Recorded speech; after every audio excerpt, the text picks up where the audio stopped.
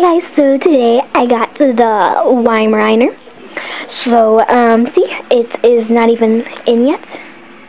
See, says. I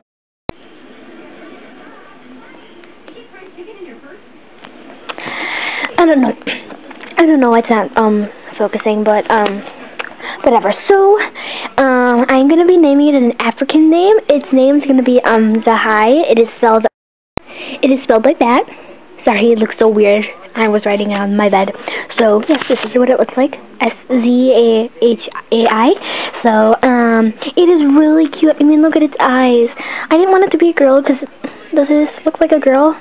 I don't think it does. So uh, it's I love the ears too. So um yeah, it's really it's really really really cute.